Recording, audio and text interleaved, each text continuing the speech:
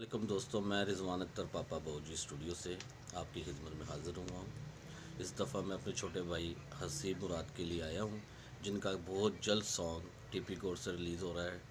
डोला वी नी और इसके शायर हैं मोहम्मद मोहम्मदीन दिलशाह साहब इस गाने को ज़रूर सुनिएगा और लाइक शेयर कीजिएगा बहुत शुक्रिया थैंक यू